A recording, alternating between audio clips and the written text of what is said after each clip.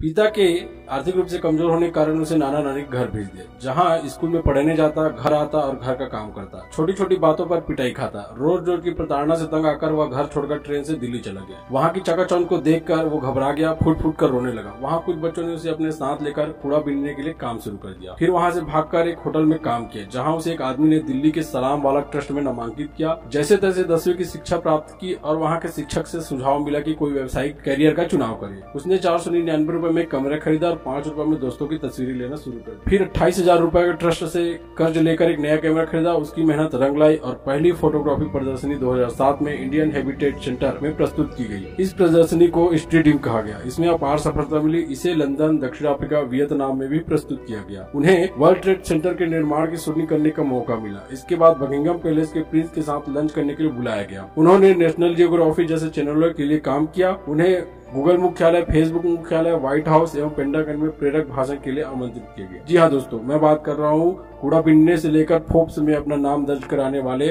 world famous photographer Vicky Roy की, जो उन युवाओं के लिए प्रेरणा का स्रोत है, जो देश का भविष्य है। अगर ये वीडियो आपको अच्छा लगा तो लाइक करें और चैनल को सब्सक्राइब करें। जय हिंद, जय भारत।